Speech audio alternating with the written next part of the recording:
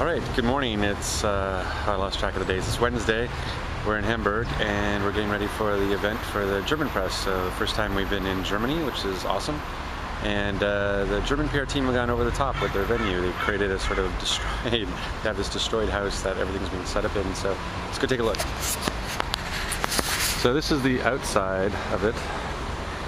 And as you walk in, you will see that sort of this rundown house with art up on the walls.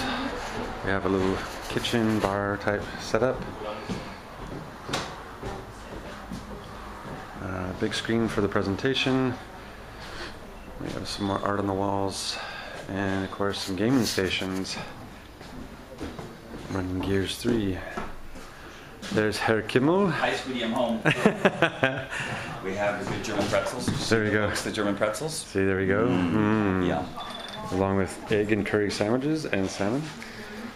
So let's continue our tour as we go further back. And kitchen, bar. And Marcus. More stations. His canvas uh, posters are going to be uh, have a sweepstakes for the press to win. So again, here's uh, four stations that they're to be able to play in co-op.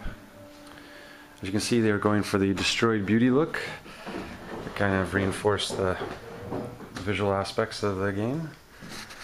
And so you get this real kind of bombed out look. So yeah, it's a really interesting venue with exposed wire and exposed bulbs and uh, everything else going on. It's kind of awesome. So anyway, we're getting ready for the press to arrive. They are not here yet, uh, but we're excited. We got uh, 12 stations and uh, two different sessions going on all day and uh, non-stop interviews.